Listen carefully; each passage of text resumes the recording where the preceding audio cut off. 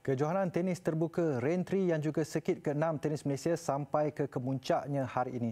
Pemain tenis nombor satu negara Ahmad Didat Abdul Razak terus sukar dicabar apabila berjaya merangkul kejuaraan keempat di peringkat kebangsaan tahun ini.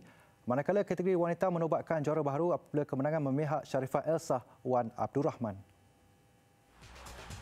Berlangsung di Kelab Rentry Jalan Ampang, Kuala Lumpur, Ahmad Didat selaku pilihan utama kejohanan menentang Aris Elias dan juga bekas rakan sepasukannya di kem kebangsaan pada aksi final lelaki.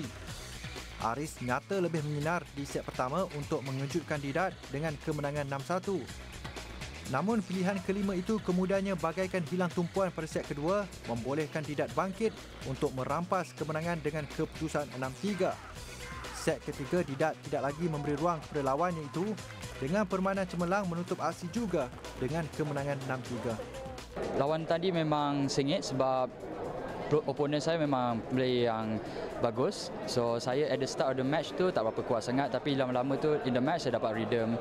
So alhamdulillah I managed to maintain my fitness semua all throughout the whole match. So sebab tu boleh ya yeah, boleh maintain my game and that's how I won.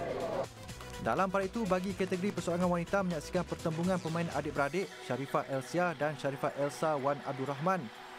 Juara bertahan Sharifah Elsia bagan pun gagal mempertahankan gelaran yang dimenanginya tahun lalu apabila terpaksa menarik diri akibat kecederaan.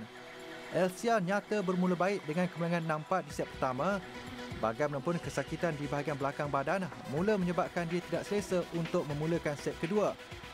Bimbang kecederaan menjadi lebih buruk, Elsa membuat keputusan menarik diri dan menghadiahkan gelaran sulung buat Elsa pada kejohanan ini. Kejohanan yang berlangsung selama lima hari bermula 31 Oktober lalu berjaya mengumpul lebih 165 peserta.